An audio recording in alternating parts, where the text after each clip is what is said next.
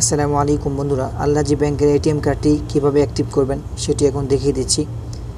কার্ডটি প্রবেশ করানোর পরে এখানে লেখা আসবে ইংলিশ করার জন্য, তো আমি ইংলিশ করে দিচ্ছি। ইংলিশ করার পরে এখানে চারটা পিনকোড বসতে বলবে। আপনি কার্ডটি অ্যাক্টিভ করার সময় যে পিনটা দিয়েছিলেন সেটাও দিতে পারেন অথবা যে কোনো চারটা পিন এখানে বসাই দিবেন দেওয়ার পরে। এরকম একটি পেজ চলে আসবে, এখানে ক্যাশ উইথড্রল এটাতে ক্লিক করে দিবেন। তারপর পঞ্চাশ সাল এটাতে ক্লিক করে দিবেন।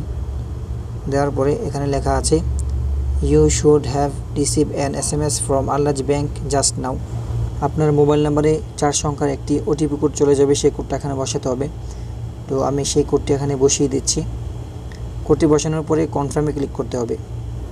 কনফার্মে ক্লিক করে দেওয়ার পর একটি লেখা চলে আসবে। সেটা হলো please enter your new PIN এখানে চারটা পিন কোড বসাতে হবে। এই চারটা পিন হচ্ছে আপনার এটিএম কার্ডের পিন। এই পিনটি কখনো ভুলবেন না। ভুলে গেলে অনেক বিপদে পড়তে হবে। তো আমি এখানে চারটা পিন বসে দিতেছি। চারটা পিন কোড বসানোর পরে আবার সেই পিনটা রি এন্টার করতে হবে কনফার্মেশনের জন্য আর কি।